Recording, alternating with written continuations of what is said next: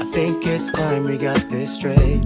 Let's sit and talk face to face. It all comes down to Bill Gates. He'll control us all, and you insane. See, I know that you may be a few branches short of a tree, but you're blind if you can't see that you need the vaccine. Once a chip inside your brain, you have no clue what it contains. What if it changes DNA so they can track us all through the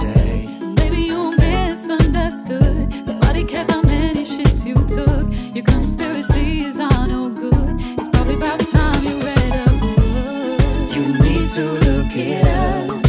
Had about enough. It's not the 5G, just read the signs.